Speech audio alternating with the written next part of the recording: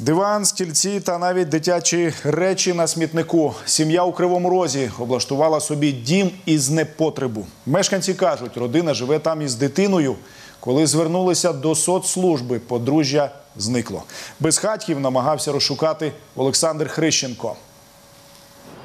Смітник в одному із дворів на вулиці Соборності перетворився на домівку для родини. Тамтешні люди кажуть, серед непотребу живе і дитина. Дитина така, от, мабуть, під 30 і до 30 жінка, і мужчина той молодой, до 30 років.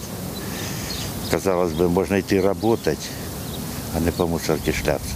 Усередині диван, стільці, речі та чимало дитячих іграшок, а ще пустих пляшок. Проте ні вдень, ні ввечері нам застати безхатьків не вдалося. Это буквально два дня их нету.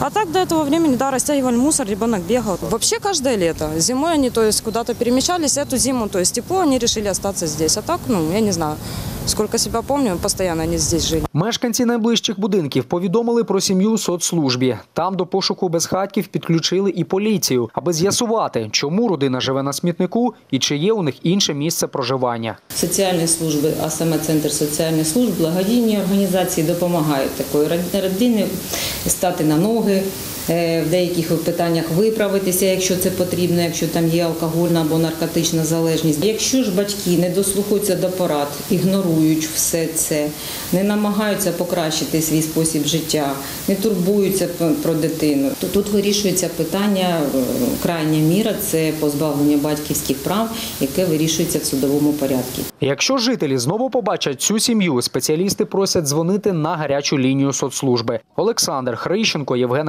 dat detalii.